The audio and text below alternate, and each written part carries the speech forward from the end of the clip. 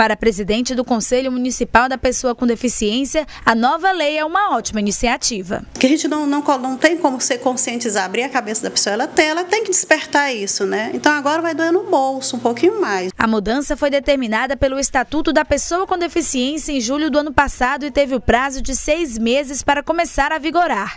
Agora a multa sobe de R$ 53,20 para R$ 127,69. Os pontos na carteira de habilitação passam de 3 para 5.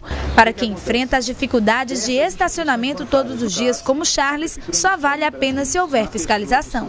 A gente não vê uma fiscalização devida em relação a isso. Ao meu ver, eu não, não vejo muita mudança se não houver é, por parte do poder público, especificadamente por parte é, do seu secretário de trânsito da cidade de Imperatriz, uma fiscalização mais rigorosa em relação aos estacionamentos às pessoas com deficiência do município. Com a mudança, o veículo infrator também poderá ser guinchado. O objetivo da lei é assegurar os direitos das pessoas com deficiência e garantir a acessibilidade.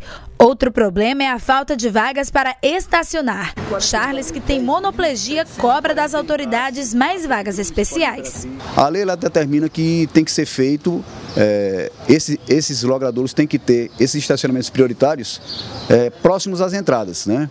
É, no caso do shopping, dos shoppings aqui na cidade de Imperatriz, é, nós temos dois, dois shoppings aqui e nenhum deles próximos às entradas existem os estacionamentos prioritários, tanto para os idosos no, no percentual de 5% e no percentual de 2% para as pessoas com deficiência.